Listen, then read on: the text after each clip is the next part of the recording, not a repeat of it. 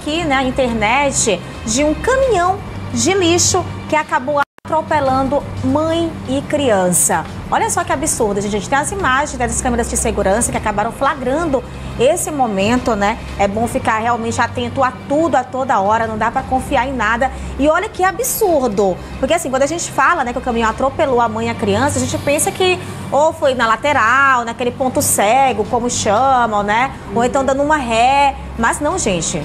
Foi na frente do caminhão. Tudo bem que o caminhão é alto, às vezes não dá para ver muito, né? Muito bem.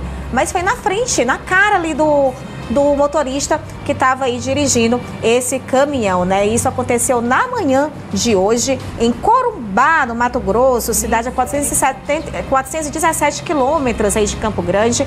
O acidente foi filmado aí pelas câmeras de segurança, como a gente está mostrando aí nas imagens. E as imagens mostram justamente que a mulher empurra o carrinho com a filha pelas ruas normalmente, né, um dia de rotina, um dia normal, um dia comum, e aí o caminhão de coleta de lixo aparece parado no mesmo trecho da calçada. Nesse momento aí, acredito que em hipótese alguma ela imaginava que o caminhão ia sair. Nossa. Né? Ia, Impressionante. Ia, um ia- o cara né? ia dirigir, foi um livramento Graças total, Deus, né? aí. E ele apareceu parado e momentos depois a mulher se aproxima das rodas dianteiras aí e o motorista começa a sair do acostamento sem notar as vítimas. Acredito eu que ele podia estar ali um pouco meio que pensando no mundo, é porque o caminhão de lixo ele para pro pessoal descer, fazer a coleta e ele fica um certo tempo parado na rua. Né? Eu acredito que nesse momento que ele ficou parado, acabou perdendo um pouco a atenção. Você acha que não, Pontes? Acabou perdendo um pouco aí a atenção É e acabou não cego, vendo. eu Você acha que é um ponto acho, cego aí acho. também? Não deu pra ver, né? É. Eu acho Nossa, que é muito alto É, também Você o caminhão se a gente lixo. for levar em consideração a altura da cabine, É. no momento em que a mãe passava com o carrinho, né?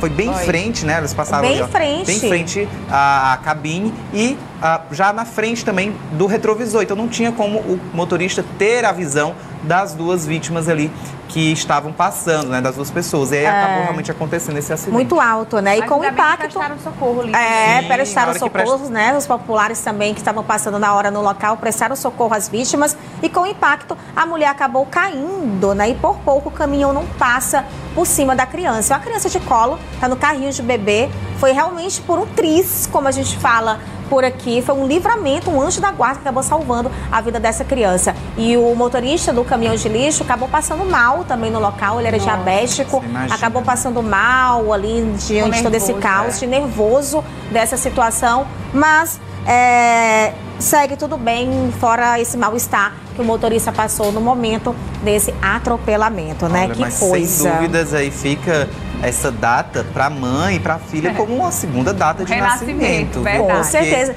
E- realmente não era o dia dela. E a gente imagina com uma criança, né? Nós que Nossa, somos sim. mães, a gente já tem aquela angústia toda, né? Aquela... Aquela chegar fica apertado. apertado demais, gente. Nossa. Meu Deus do céu.